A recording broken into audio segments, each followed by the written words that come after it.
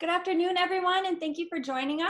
I'm Katie Smoller. I'm the Director of Educational Programs at the National History Academy, and I'd like to welcome you all here today as we continue our virtual tour series. Or each Wednesday at 4 p.m., we're going to be virtually and chronologically working our way through major sites in U.S. history. And today we are joined at, with Jamestown, and we are with uh, the Director of Youth and Public Programs, Mark Summers. So, Mark, thank you so much for being with us today.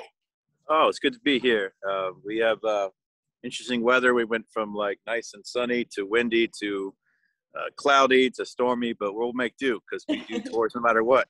Uh, thank you all, those of you who are uh, students in attendance. I've been working with history, uh, your group, for I think three three years or so now. It's been a couple years, so I'm excited to do this. We've been doing virtual tours for the last two years, and it's kind of a nice thing to on a daily basis to reach students from all over the country. So without being uh, further ado, we're kind of at the end of our day here, so the crowd's kind of going away. We'll practically have the place to ourselves.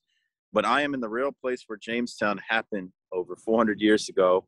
I'll just give a brief introduction and I'll turn the camera around. So, when I was a student, I grew up south of Richmond, Virginia, which meant that I had Jamestown drilled into my head as a child. If you don't know Virginians very well, we kind of like to be first at everything and there was a rivalry between Jamestown and Plymouth, Massachusetts, for who was sort of first. Now, Jamestown is definitely 13 years older than Plymouth, but after the American Civil War, uh, Virginia history was de emphasized in textbooks, and Jamestown was seen as not as important, which makes people in Virginia upset. They wanted to say, well, we're first at everything. Long story short, Jamestown became a museum in 1890. Most of the monuments were put up in 1907 and they kind of reflect what people were thinking in 1907 as you study monuments and why people debate them today. But from 1907 until 1993, the tour didn't change that much. Uh, we talked about John Smith, talked about Pocahontas, we talked about how important Jamestown was, and we stood at this park and we looked at monuments. And every tour guide used to tell you that the actual site of the Jamestown fort was long ago washed away into the James River. So I'm 43 right now, which makes me the last generation that had this bad tour uh, when I was in middle and high school. I loved history as a kid. I always like to go to battlefields and museums. I love being in the real place. I don't like replicas. And I was very disappointed after looking at six or seven statues to be told that everything I studied in school was in the river. Well, this is the Jamestown. Hold on a second. There. This is the Jamestown I saw. I saw the statue of Captain John Smith. He's been there since 1907. I saw this original church tower from 1690. It's pretty interesting, but it isn't from the time period of early Jamestown. Most of the buildings we saw were monuments from 1907. And again, I was told that Jamestown's original fort was in the river. And the reality was we were standing on it the entire time. In 1994, an archaeological dig began. It was only supposed to last for 10 years. And we're now in year 27 of that 10 year archaeological project. You're going to hear me talk about how I change my mind philosophically all the time. Never let anyone tell you when they work at a site or they're a professional historian that they don't constantly change their minds because what I'm confronted with, and I've been here almost 10 years now, is now that we've been part of this dig, we've been part of this information, we've been finding millions of artifacts. We're up to 3.5 million. We've recreated the Jamestown fort the way it looked, where it actually was, and we'll go over that today. What we're learning about is the true beginning of the United States was a rough beginning, well before Philadelphia in 1776, even before the Pilgrims. This is a place where different cultures came together. It's far from a rosy story, but at the same time, you're going to find a lot of people from 414 years ago are actually a lot like you and I. When I was a kid, I just thought they were guys with poofy pants and lace collars. The story is much better than that. So this is the actual James River. You can see a ferry boat operating today that's got cars on it. There's no bridge here and it's operating on the same part of the river that the English sailed on 414 years ago. But a lot of times when you're in history class, and I know you guys are mostly, uh, probably all are honor students, and you take a lot of history courses, and I'm going to be honest with you, there are probably times if you were like, like me, where you might be frustrated with a teacher, you might be frustrated with curriculum, you might be frustrated and say a textbook is outdated. Your gut is telling you that the story is not complete. I want you to trust yourself on that and be willing to actually look and search for better information and, and new information because Jamestown is a much better story than I had when I was in high school. You see, when I was a kid, when I was a, a young adult, we always were talk, talking about the three wooden ships that came up the James River. I know you've seen these kind of movies and documentaries before, have you not? Where you where you see it could be about Mexico, Peru, Canada, Massachusetts, Virginia. There's usually some version of the story where they always show the sailing ships from Europe coming up the river or coming across the ocean.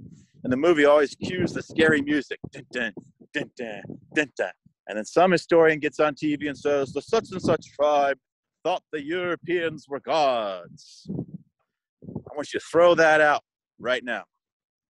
You see, when we talk about English people coming to this place in Virginia, just for geography purposes, I am standing 38 miles northwest of the Atlantic Ocean. So we are pretty close to the shoreline along the actual river where English people built a fort.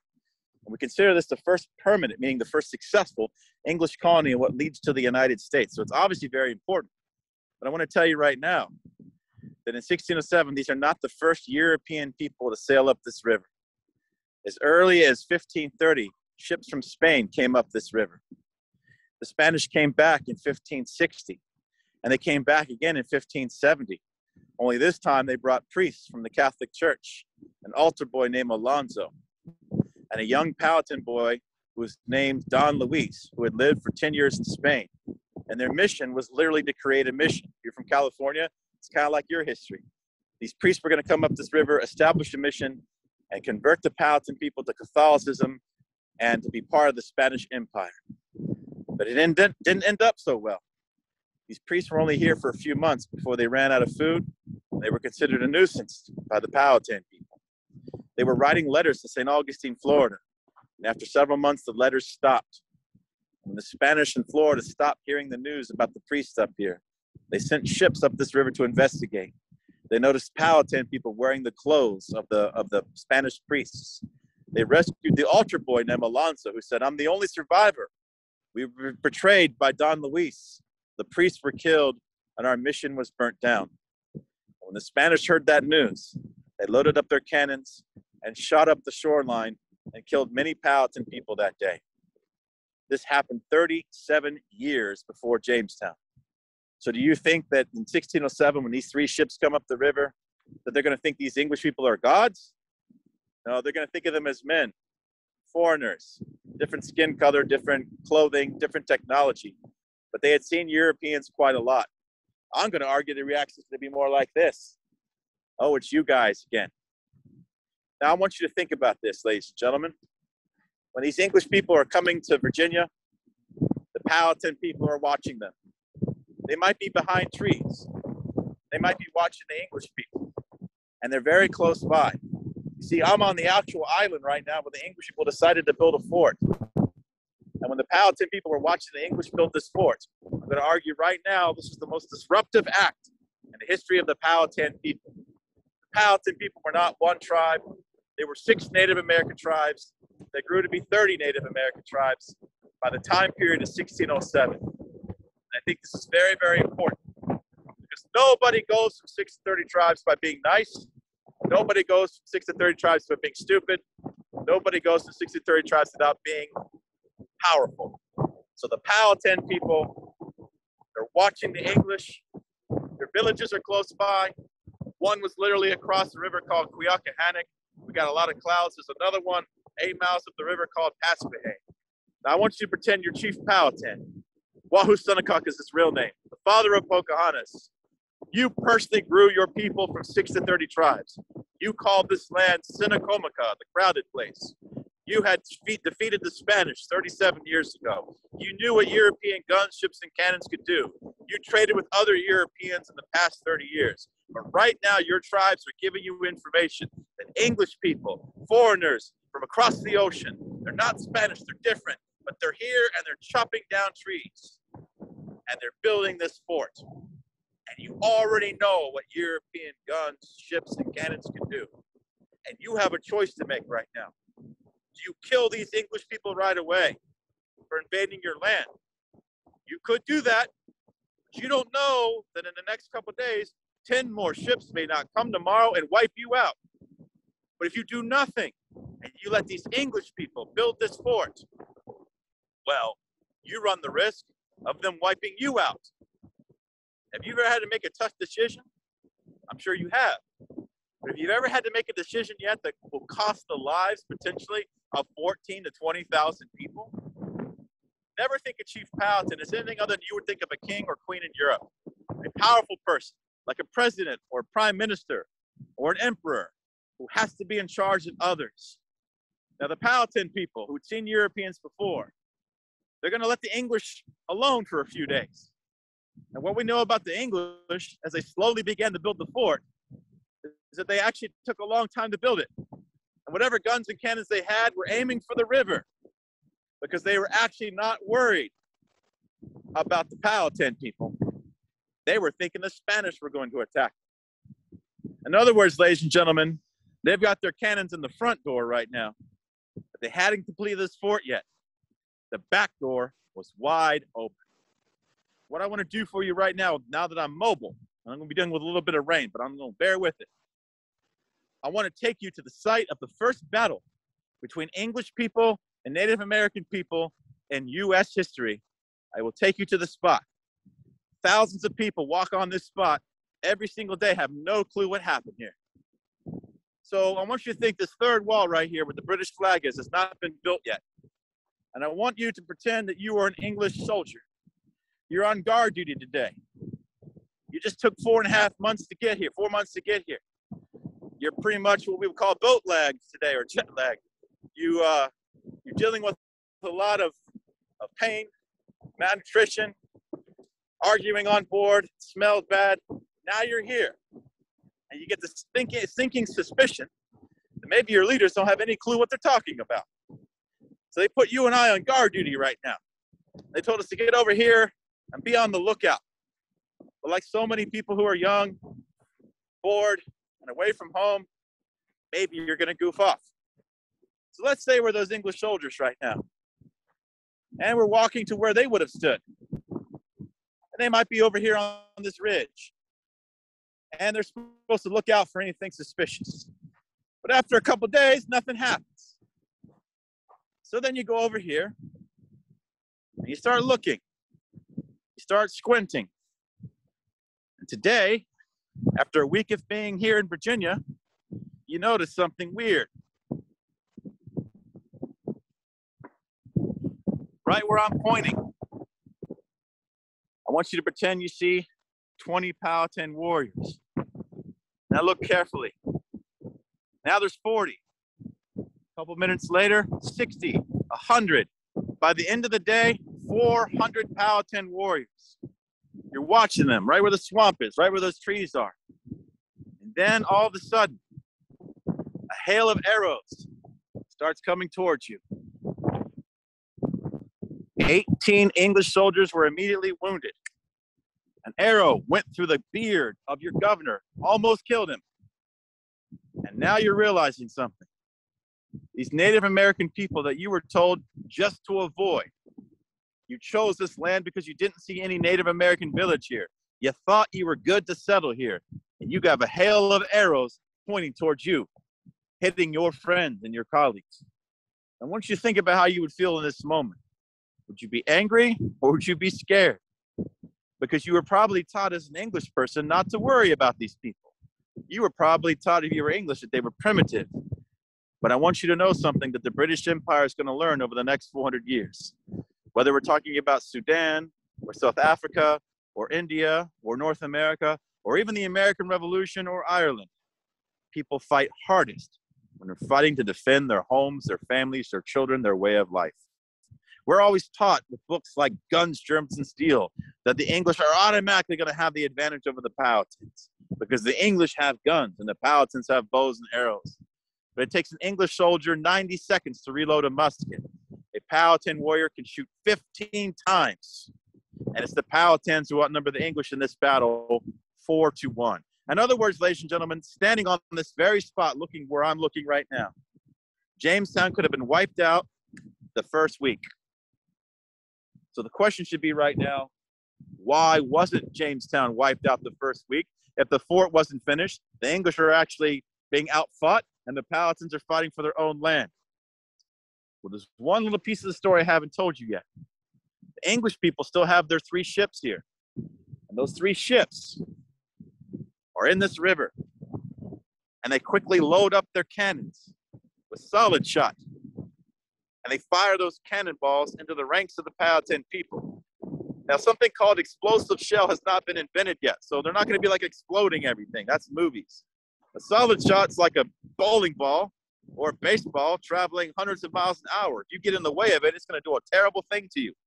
But cannonballs didn't kill that many people. What they did was scare the mess out of everyone else. If you were standing next to this tree and the cannonball turned it into a hundred splinters, because the English shot those cannons over the heads, if you were a Powhatan warrior, that was the time to retreat. And because the English people had their cannons that very moment in time, the English people survived that first week.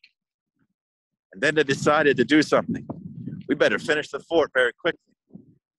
Sometimes when you're a kid, sometimes when you're a young adult, and you only see in history books people who are much older than you, I want you to remember that every single war that ever happened in the history of this planet has affected young people. Because I'm going to tell you that 18 English soldiers were wounded, right? But two English people were killed in that first battle. And one of the English people killed in the first battle was a teenage boy. And I want to show you where the archaeology team found him in the year 2003. Where I'm about to point where there's a gap in the fence here. And I'll explain how we know the fence was here later. And the gap in this fence, there was a shallow grave, about two feet deep. We uncovered a skeleton. And I want to show you what the skeleton looked like. This is the skeleton we found that the person was a uh, European descended person based on the shape of the forehead and temples.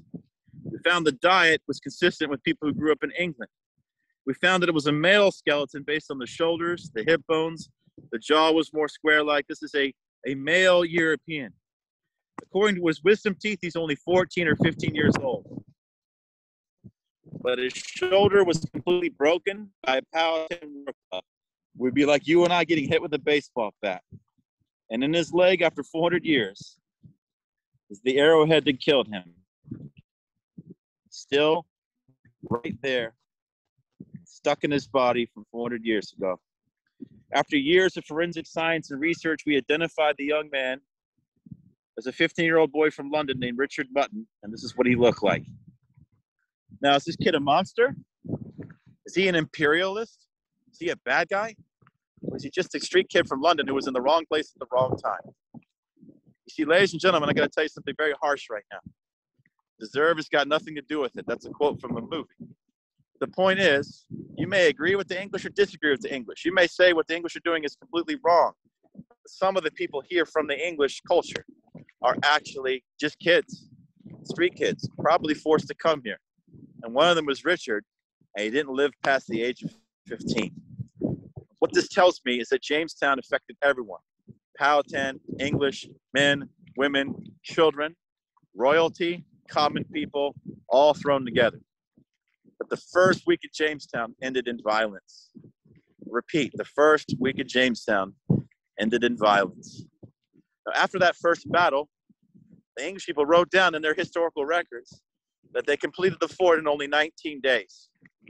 And I remember having teachers that kind of scoffed at that, said, How in the world could they get that all done in, in 19 days? Well, there's two answers I have. One, there were still a lot of sailors here to do the work.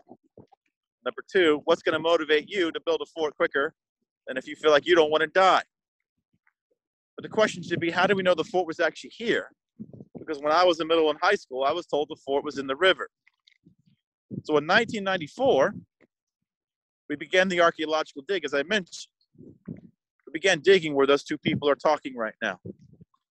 Remember, there's no fence there. We began digging the first two feet of ground up. And the first two feet, feet of ground is kind of like a time machine blender. The dirt's all corrupted and mixed together. What archaeologists do is they take buckets of that dirt and they pour those buckets of dirt onto a screen. They place that screen on top of a wheelbarrow. And it's kind of like fishing with a net. You're going to catch artifacts you want and artifacts you throw back. But anytime you pick up something made by a person, it's an artifact. So I will repeat this when I say this to the public that a 1987 Mountain Dew can is just as much an artifact as John Smith's pistol.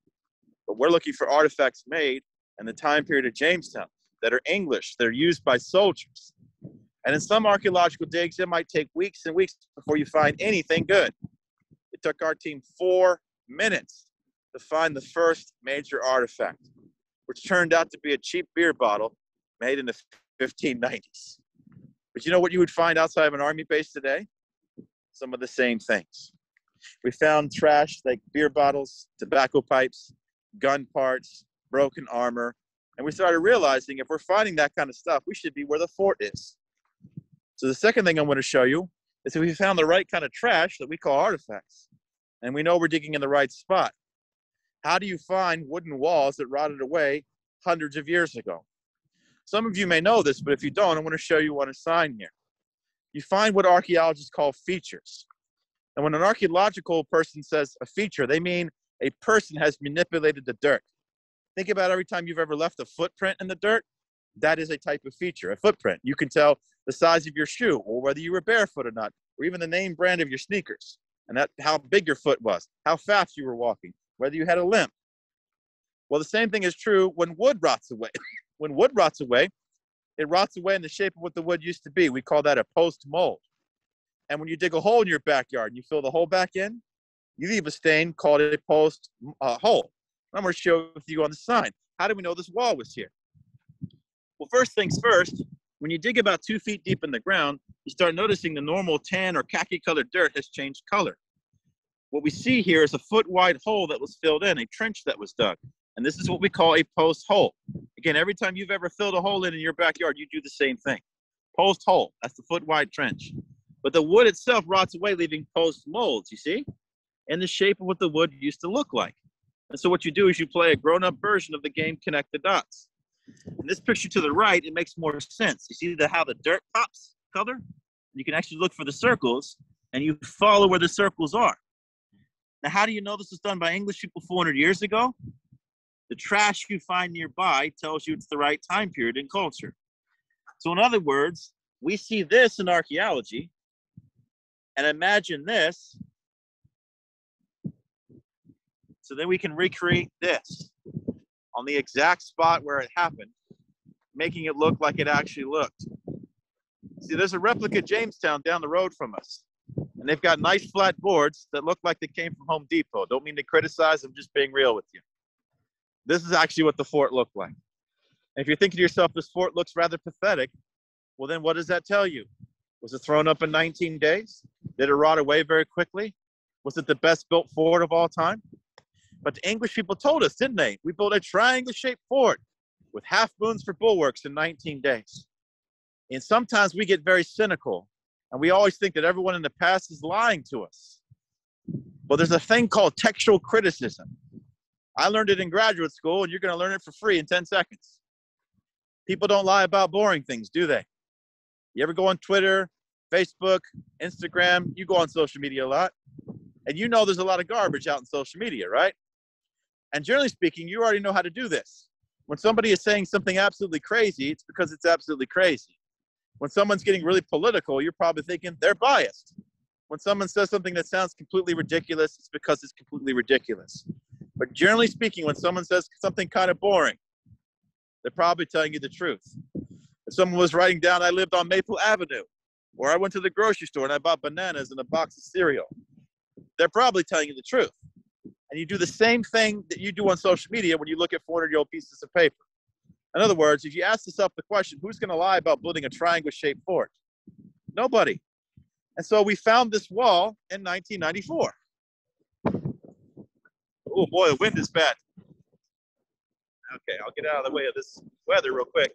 This is the first wall we found in 1994. But we needed to find two more walls. So we found the second wall around the corner in 1995 by playing Connect the Dots. And it was right over here. You go into the V shape. One, wall number two. Now third wall in the distance where we just were before in 2003. Well, I would call that a triangle shape. And then they said a half moon bulwark. That means curved walls for cannons. Well, look at what we found in 1995 to 1996. We found this curved wall right here, which is why we have a cannon here. And and there would have been four to five cannon in each corner of the fort.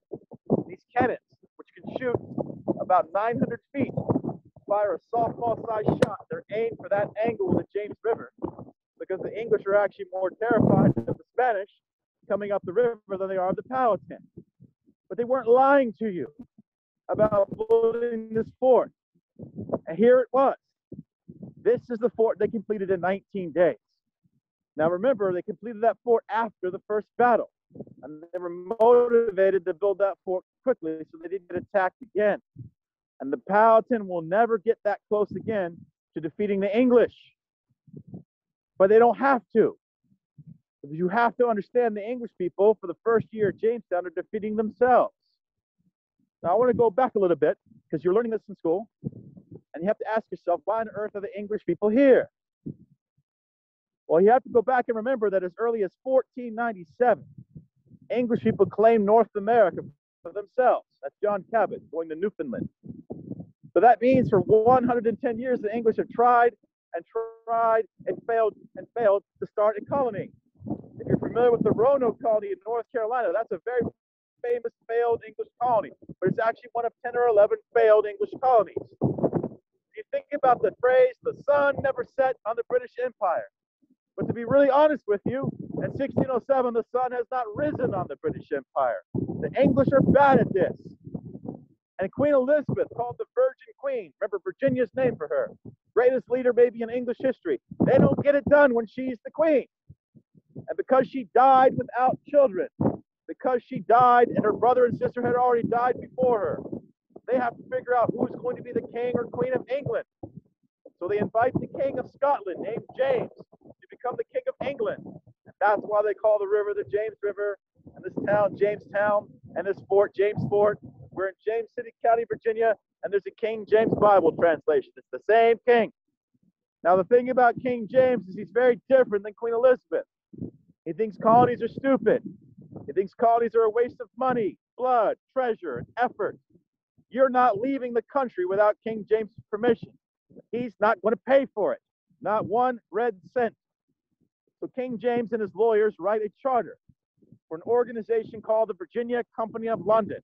In other words, it's a private organization of rich people in England who invest their money because they say there's money to be made in Virginia. And these rich investors, they actually form a company. And I'm saying we would call this today a startup. And they form this startup called the Virginia Company precisely to make money. They have a board of directors and they have dues and they have meetings and they do what big companies do. But I'm going to tell you, these men are not the people coming to Virginia. They're going to find desperate people to do it for them. So those things the Virginia company might be SpaceX. Think about Elon Musk as a billionaire wants to fly to Mars. Remember this summer when Jeff Bezos from Amazon flew to space? How many people on the news made fun of that? Here's what I think they missed the point. I kept thinking all summer long, boy, does that sound like Jamestown. Great things in history are often financed by billionaires who just want to make more money. But sometimes great scientific and political achievements happen anyway. So your generation, as you get older, is going to see space travel turn into the same thing the English are trying to do 414 years ago. But that's precisely the problem. If Jamestown was founded by people in London who, number one, have never been here before, number two, aren't coming here personally, and number three, are interested in just making money, could you agree with me that perhaps they might be giving orders that make no sense? They got three ships. They crowded 104 men and boys into those ships. They told them they were going to find gold and silver. It took them four months to get here. And when they landed in Virginia, they had to follow four important rules. They landed in what is now Virginia Beach, next to the Atlantic Ocean, 38 miles that direction. When they opened up the letter of instructions, they were immediately told they can't stay there, or they will be blown up by the Spanish. So they were supposed to sail 100 miles up the James River. But they don't know that James River, you can't sail past 70 miles. When you get 70 miles up the river, you hit waterfalls, which is now where the city of Richmond is. They went back this direction and built this fort 38 miles away from the ocean. I'm going to give them half a check mark. The second thing they were supposed to do is build their fort next to a river that was very deep. Now, if I walk into the James River right now, it might be up to my armpits. But we don't allow swimming here because it drops off suddenly 20 feet. Right where the ferry boat is, you might make out a green buoy. That tells modern day sailors that that's the river channel, the deep end of the river. It's 35 feet deep right there, deep enough for ocean going ships to the to this day in the 21st century. The ferry boat is actually on the same part of the river the English used 400 years ago. Big check mark, the English know how to sail. The third thing they were supposed to do is build a fort on high ground. Well, it doesn't look like high ground if you're from Colorado, but we're standing on top of a big actual hill. And you want to build a fort on the hill if you're in the army. It's easier to shoot downhill than uphill. It's hard to run uphill to defeat somebody. Big check mark. They did a good job there.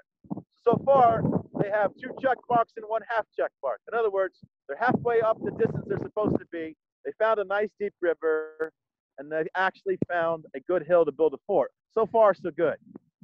But the fourth thing they were told to do is to pick a place to live where they didn't see any Native Americans, only they called them the naturals. So they noticed there was no Native American village here. So you know what they probably thought? Well, this place is perfect. But here's the problem. I wish somebody had said, hey, why are there no Powhatan people living here? Well, the answer is the water's terrible. It's brackish, it's salty. It was even saltier back then because we know there was a drought going on because of tree ring data. So it was the worst drought in 770 years, only they didn't know it. There's a swamp behind me that has poisonous arsenic in it. We know the soil here is so sandy that when people use the, the toilet, the restroom, that human feces and animal feces creates what? The E. coli bacteria that got sucked into their well water, creating the diseases called typhoid fever and dysentery. This is pretty much the worst place they could have picked from a health point of view. And the fact that Native Americans didn't live on the island should have told them that. So right away, following the rules written by people who don't know what they're doing and don't know what they're talking about absolutely can get people killed. Just ask that young boy, Richard Mutt. This whole story of early Jamestown is really a story of leadership. And in many cases, it's a story of bad leadership. And we're getting the details, but actually doing the archaeology. I'll give you an example. In six, uh, 2009, we actually found where Jamestown's first well was. Now we had to fill it back in, but it's right here where the gravel and the white pipe is. We dug this out and it was 17 feet deep.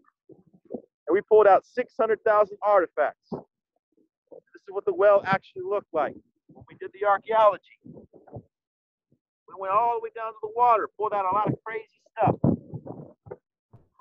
then we did something else cool. We have friends at the College of William and Mary from the geology department. They drilled holes, put these white PVC pipes all over the island. They have scientific instruments to test the water, what's called the aquifer, the natural underground water supply. So they put a hundred of these test wells in the entire island. This is a few years ago. And what the William and Mary scientists found out is of the hundred test wells they actually put all over this island, the actual place that had the highest level of E. coli bacteria on this island today is in the exact same location of where the Jamestown people built their first well. Every drink of water, they were slowly killing themselves. Dysentery is diarrhea bad enough to cause blood loss and dehydration and kill you. Typhoid fever can give you a temperature of 105 or 6 degrees. These diseases we now know are caused by the bacteria from human and animal waste, which is why in countries that are developing, when they have a hurricane or earthquake, you notice people in the news talking about dysentery or typhoid or typhus. That's what they mean. When you hear about Civil War soldiers are more likely to die from bad water than from bullets, that's what people mean. They don't have microscopes. They have poor scientific medical knowledge. And with every drink of water, they're killing themselves because they picked a terrible place to live. And science can actually prove it. This place was not a nice place. And I cannot scream loud enough about the annoyance. We still we have generations of people who think this is the old butter churning. Generations of people that think this is a quaint, cute story.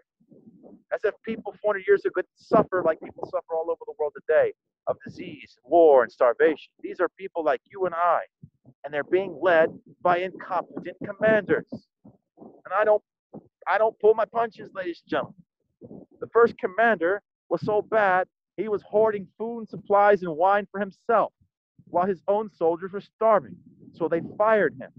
The second commander was even worse. He was working soldiers to their death to build him a palace in the woods, and they were living in muddy holes in the ground right by the wall there. The third commander was a nice guy. He decided to quit because you could be too nice for this job. And I want to tell you that the original 104 people here, by the end of the first year, only 38 were still alive. So they go from 104 to 38 people. Two thirds of the men are dead. There's no gold here. There's no silver here. The Powhatans want the English off the island. The Spanish never show up. The fort was built too late. The well water is killing them. And go through three bad commanders. This is a terrible story. This is a colony that should have failed. So why didn't it fail? Maybe because the fourth leader of Jamestown was actually kind of good at his job.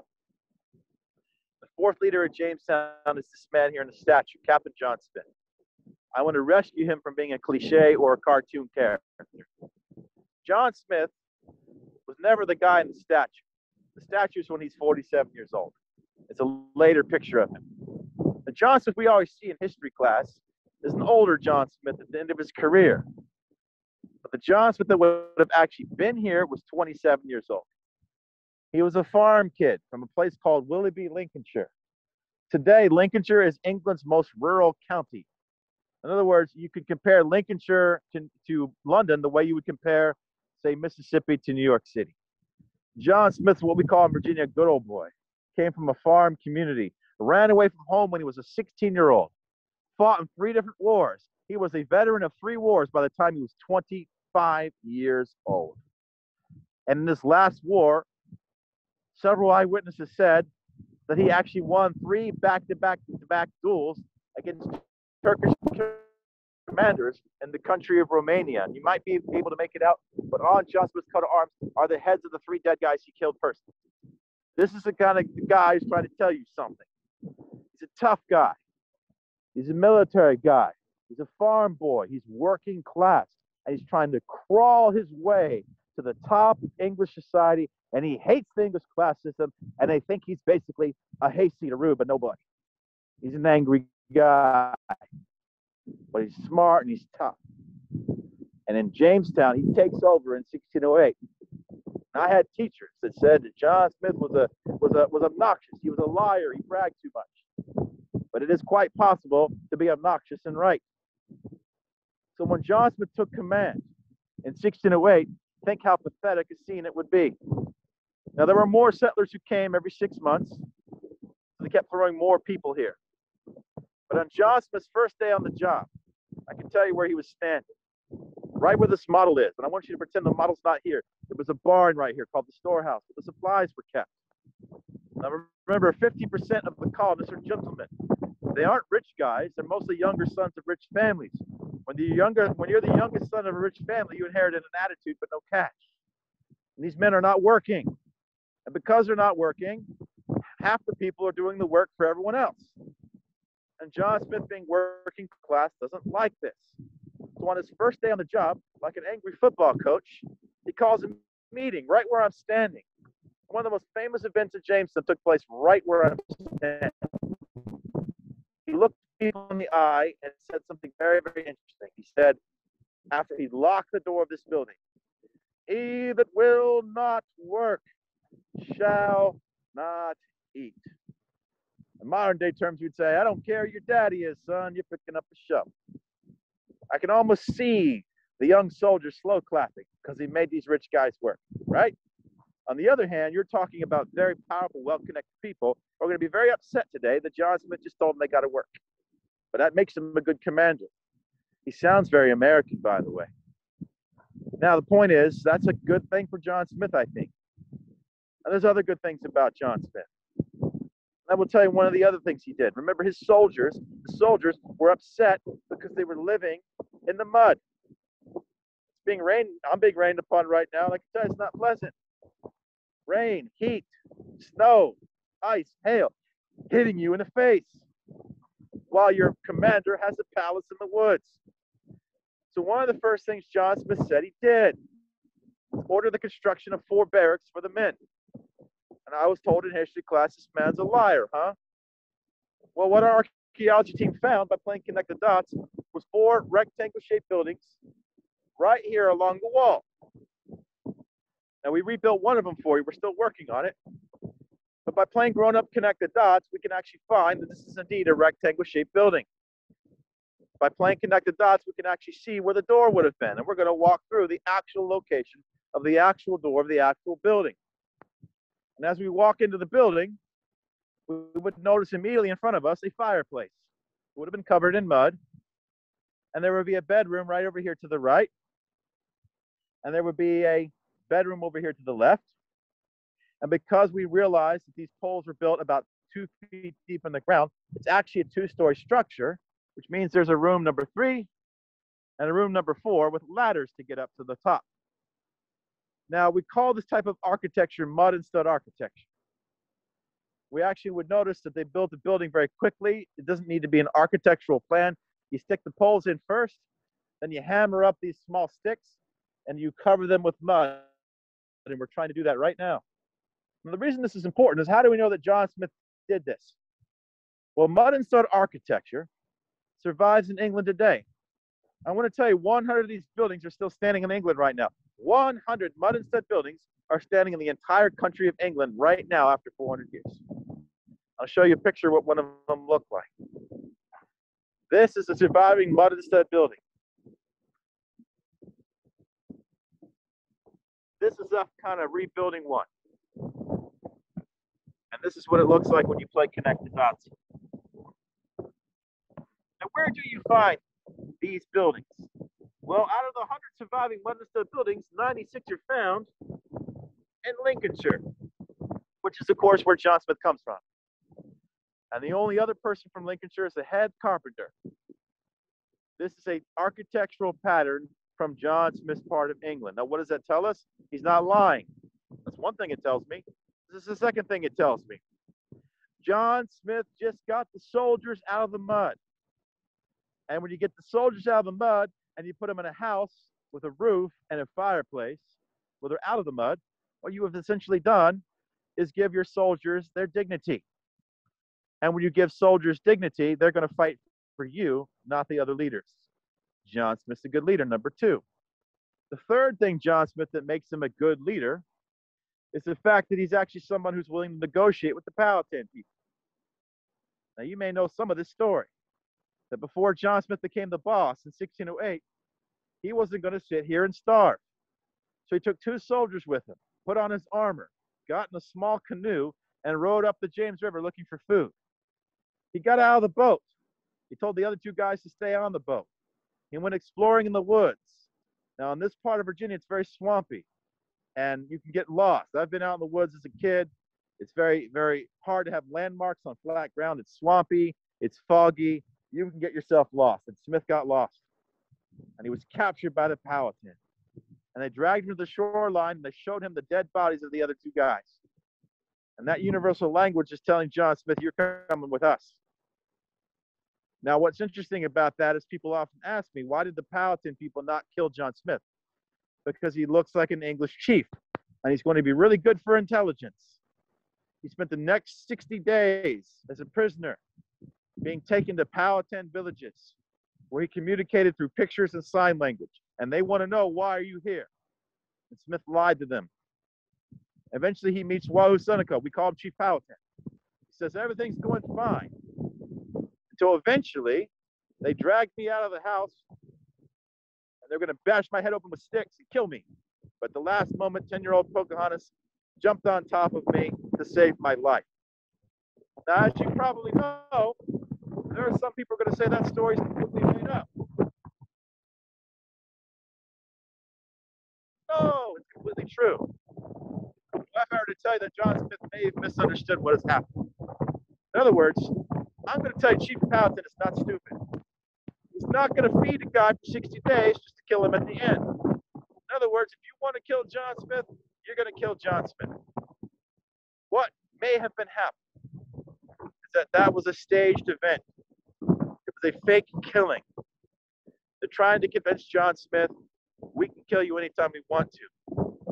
Now let's do some business. In other words, we would call that negotiating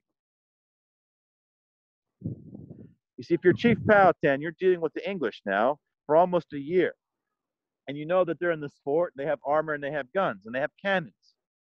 You know that the last time you tried to attack them, you almost got wiped out.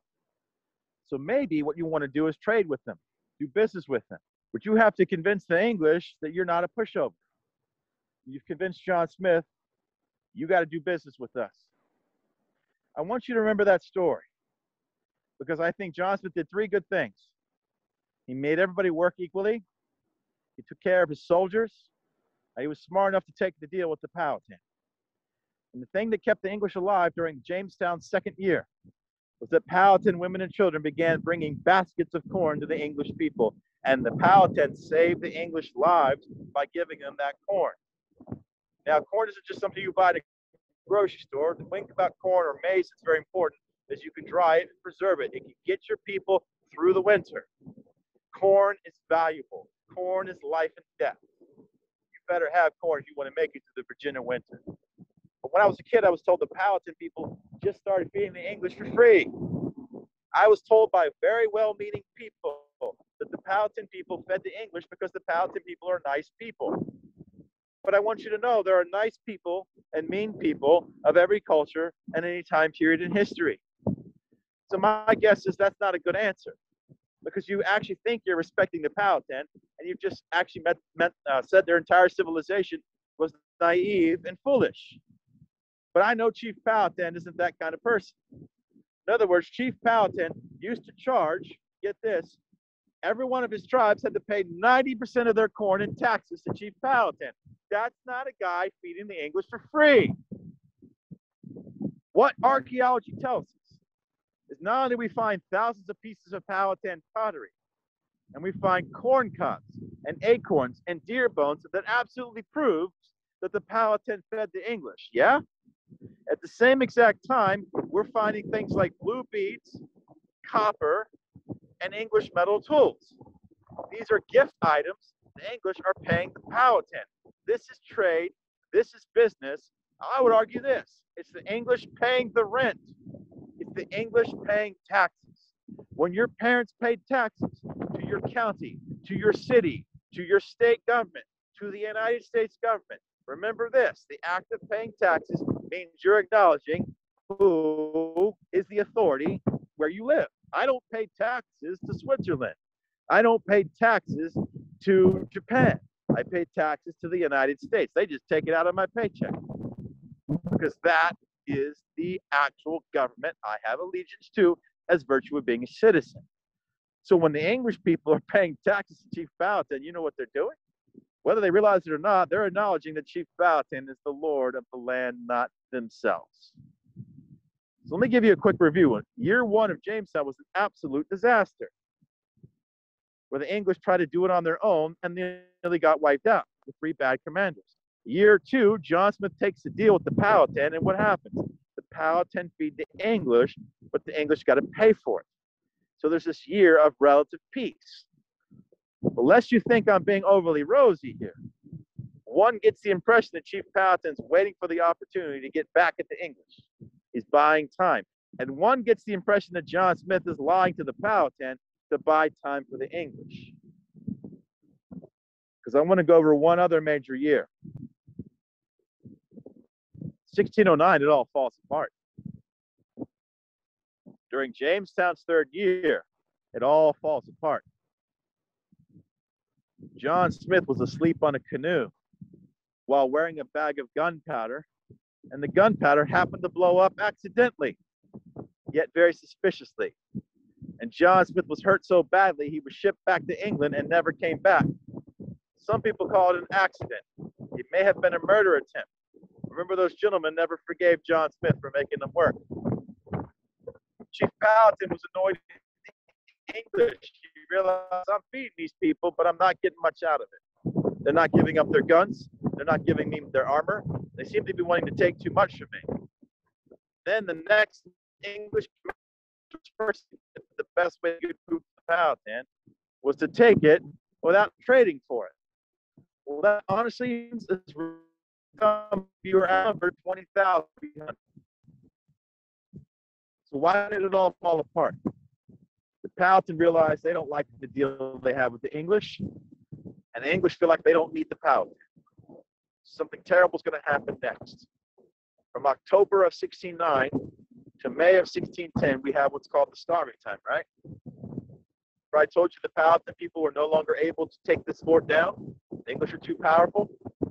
But you don't have to take the fort down, ladies and gentlemen. You just surround it. I want you to think of a very tight siege. The English people get killed when they try to get fort.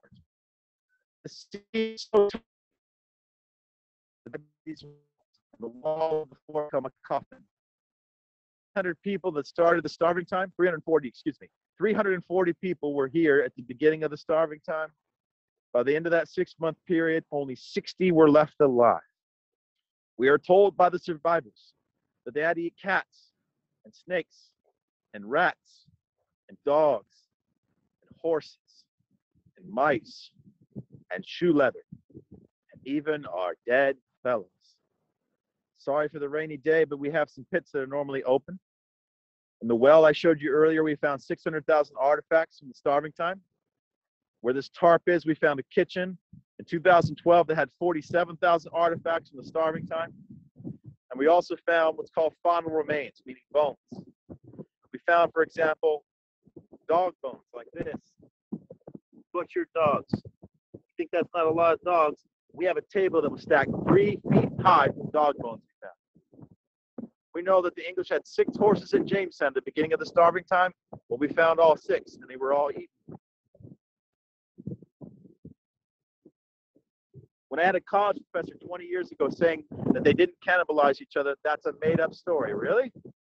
Well, right here in 2012, we found the skull of a 14 year old English woman. This is what she looked like. And there were cut marks all over her skull.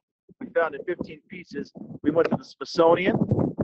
We went to Walter Reed Naval Hospital, Georgetown, forensic scientists in London, Berlin, Canada, United States, and multiple universities, and they all came to the same conclusion. This 14 year old girl had eight out of the nine criteria for survival cannibalism, but only five are necessary. She was thrown in the trash at age 14. We proved that cannibalism happened. And it happened because the leadership at Jamestown was flat out awful. This is the second time in our tour. We'll do one more story and we'll finish. This is the second time during my tour where the English people almost got completely wiped out. So they got rescued. 1610, two fleets of English ships rescued the starving time victims. One was two ships that had missed the starving time because their ship had crash landed in Bermuda. It's called the Sea Venture. Those two ships that were built in Bermuda were full of the refugees who came here to feed the English people that they described as walking skeletons waiting to die. But they were going to abandon Jamestown. But they were turned around trying to leave this place by nine ships led by a guy called Lord Delaware, your new boss, your English, one of the 50 most powerful people in England. And we are told that he busted through the doors of the fort. Right where Smith's statue was, was the main gate into Jamestown. Where I'm now standing was Jamestown's first church. And if you were a starving time victim, he just busted through the door. You slowly get up and take off your hat, and he walks right, right here, right in front of you. In Lord Delaware, he says, no more common law and rights of Englishmen. We're going to have military justice. And Lord Delaware says, I don't feel sorry for you. It's your own fault for letting the Powhatan beat you in a war. And he said to his soldiers, from this day forward, we're going to give the Powhatan Irish tactics. We're going to treat them like we treat the Irish. When they hit us, we hit them back so hard, they'll never hit us again. And he selected two Powhatan villages to wipe out. I mean that for real, wipe out. Kecoughtan, 30 miles behind me, and Paspahegh, eight miles in front of me. Those two villages were destroyed, and anybody they tried to catch was killed. No quarter. The whole point was to send a message to the Powhatan that if you mess with us, we mess with you times 10. But just like the Irish, the Powhatan fought back. And for the next five years, what we have is called the Anglo Powhatan War. It reminds me of the Vietnam War for the 1960s and 70s. The English have the advantage of having guns, fast moving ships, cannons, and armor. The Powhatan had the advantage of knowing the landscape, fighting for their own country, and setting up ambushes and traps. And in wars like this all over the world, and including one that just happened recently, you can see advantages and disadvantages for either side. And they don't take long for wars like this to bog down where neither side can win very easily. So after five terrible years of warfare, killed people on both sides. That was bad for business. The English finally gained an upper hand by capturing the now 17-year-old Pocahontas and attempting to trade her, trade her for all, all the English prisoners. But when Chief Powhatan refused to make the deal, she stayed with the English longer than she was supposed to. She learned the English language. She adopted the Christian religion. She called herself Rebecca and wore English clothing. Now you can say if you're suspicious, was any of that her choice? Probably not. But John Rolfe, the man who's planting the very tobacco that's going to make the English rich, said that he fell in love with Pocahontas and asked permission to marry her. The reason that's important is that both sides realized there's a way to end the war. On April 5th, 1614, through this door, Pocahontas, now age 17, will walk up this aisle, and in front of you would have been Powhatan and English people. And in front of you now is John Rolfe and the minister, Richard Buck. And when John Rolfe and Pocahontas said, I do, right here in the front of this church, this very spot, 400 years ago, the war ended in the same spot where it began five years earlier. From Irish tactics to I do. And there were hopeful faces in that crowd, hoping that the violence was over. For the next seven years, it would be peace at Jamestown. During those seven years, the church would move, there would be representative government, the establishment of common law, the spread of the English language, the growth of tobacco, and the establishment of Jamestown as a permanent colony. All sounds nice and rosy. But from a Powhatan point of view, those seven years saw the loss of a lot of their land and a threat to their culture. All the way up to 1622, the English felt like everything was good. But in the distance, 399 years ago, there was a new chief named Opechancanough who was waiting for the moment to strike back. On a peaceful morning of March 22nd, 1622, at 8 in the morning, nearly one third of the English colony was wiped out on a single day by Powhatan warriors took weapons and blunt instruments and knives from the English people's homes and killed everyone they saw that day. The English never saw it coming. They were almost wiped out again for a third time. My last point is this. Then the English hit back. See what I'm getting at? What's going to happen for the next 100 years, 200 years, and 300 years in American history between colonists, settlers, and the Native American people? Jamestown is complicated like that. It's full of wonderful stories like Pocahontas' wedding, John Smith telling people off, the birthplace of representative government. Chief Powhatan is a wise ruler, but it's also full of stories that are painful and hard and controversial to the present day. Jamestown is not good guys and bad guys. Jamestown is the same world we live in right now, 400 years later. When I turn on the news, I see Jamestown. When I turn on the news, I say everything that happened today is because of what happened 400 years ago. I don't see history as trivia. I see history as something that affects us to this day. It's current events. All right, it's five o'clock. Can we do maybe like 10 minutes of questions? Is that okay? Yeah, that'd be great. Thank you, Mark, so much. I guess we've got so many positive comments uh, coming in. Oh, good, so good. that That's was the way I roll here. Hope you liked it. And I will say, uh, Ben had to leave, but we had a former student who was on the call from 2018, and you and his visit to Jamestown in 2018 inspired him to Excellent. to the history field, and he's now uh, that's his major in college. All Excellent. right. Great. So, all right, we've got a few questions here. Uh, first of all, were the settlers, is there a reason they chose the Virginia area in particular? And then once they realized how bad it was, did they ever consider going somewhere else? Yeah, the, the thing that the English want, what we would say today geopolitically, is Jamestown is in a bad area, but most of Virginia is not so bad. What I think I would say is they're selecting the Chesapeake Bay for the same reason the United States Navy has it. Chesapeake Bay, Hampton Roads area, of Virginia, is one of the most strategic harbors in the entire world. We are not too far away from where they park aircraft carriers.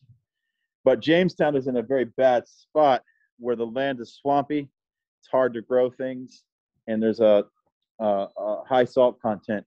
So it's not a good place for living, but it's very defensive.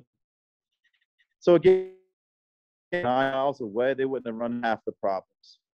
But then, we can't really get away with here is kind of in many ways finding a peaceful solution because as soon as the English figured Jamestown wasn't a great spot and tried to spread out away from it, it inevitably created more wars with the Powhatan. See what I mean? Because the English figure out the Powhatan are living on the best land, so they're going to want that land, and it's going to lead to conflict. So yeah, it's strategic. It's big picture strategic. The Spanish wanted it, the Powhatans had it, the English wanted it. Um, it's very strategic land you think about how much American history happened along the Chesapeake Bay, right? The Revolutionary War, Yorktown, Civil War. Um, we have a lot of Army bases, Navy bases to this day here. Strategic land. It's always been strategic. Deep rivers, good harbor.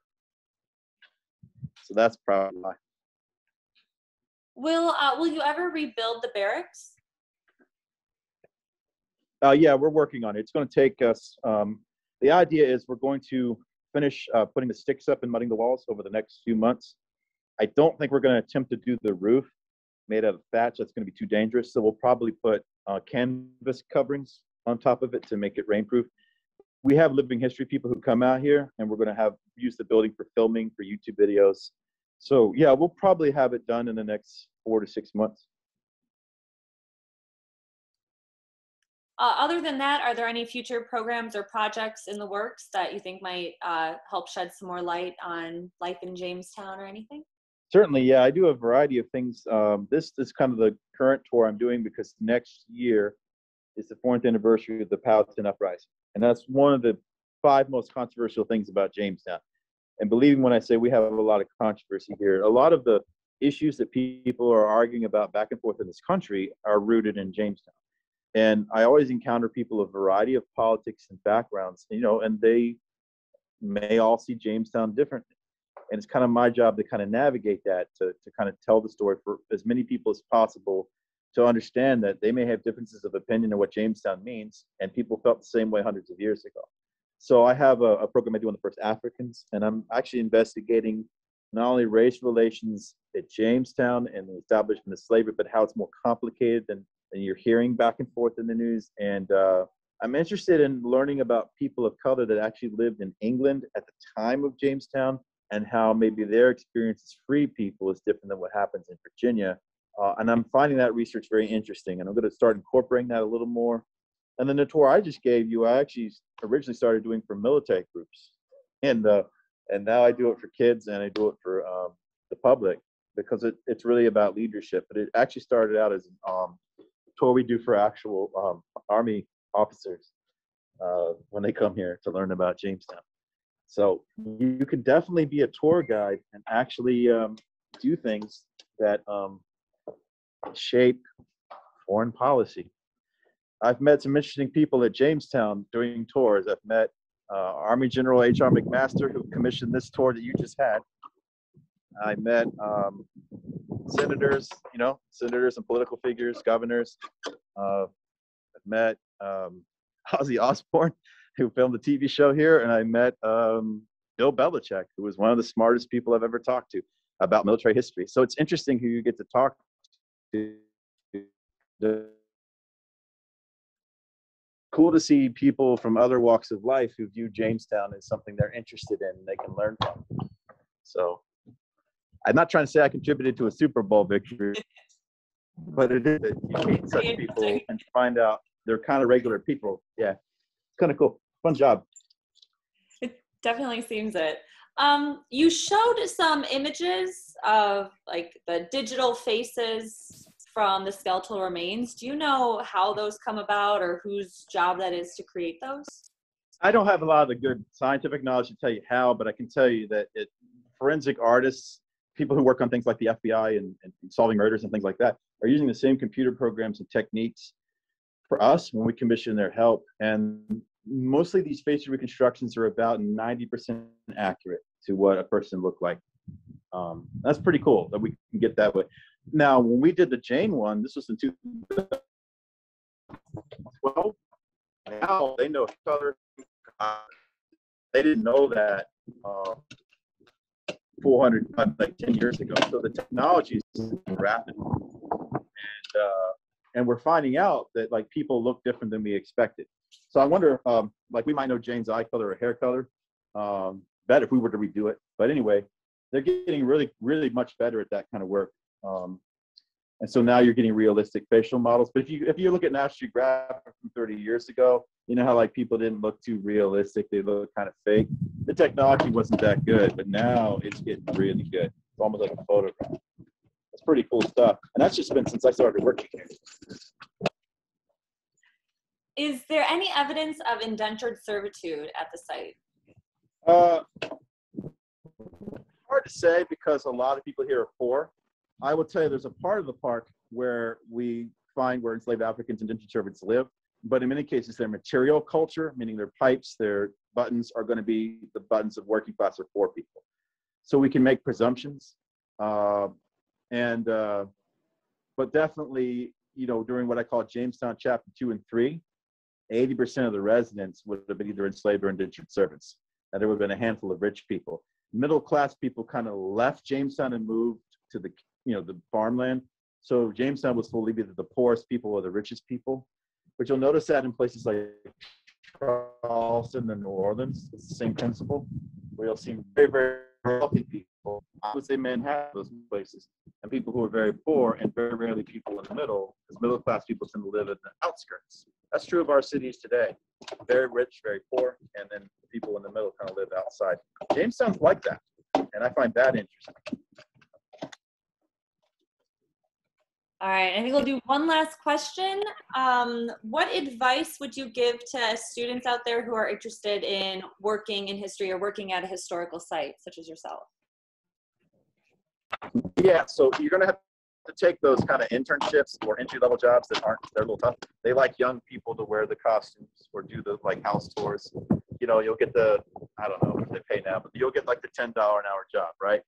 You got to be willing to do two or three of those good to get a degree in something that's related to history, education, anthropology. Um, you got to do grunt work. Um, and I would encourage anyone who wants to do this full time, you're going to need a master's degree. Um, you didn't need it when I first started, but seriously, you really will because you're, you're, you're going to have to kind of um, get that extra education to kind of lower the pile of candidates. Um, takes a while, but now that I'm in like my 20th year of, of museum work, you know, now my boss allows me to write my own tours. I get to research my own stuff. You know, I didn't get to do that 10 years ago, 15 years ago. You have to pay your dues, but I kind of reached a level now where I get to really um, do my thing. And I have a lot of freedom. So, and I get to work at a place where the research is just happening all the time.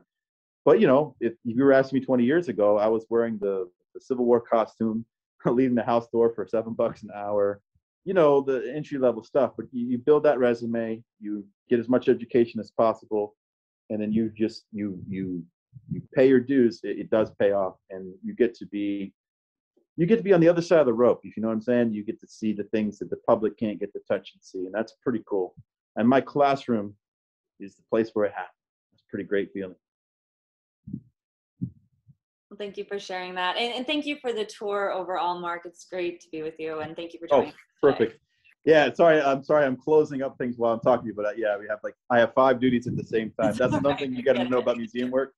You've got five things going on at once. But well, anyway, really appreciate you taking the time with us today. And if you have any further questions, just shoot me an email and I can answer them that way as well. So okay. if anybody has anything, yeah, I'll, I'll try to get to them.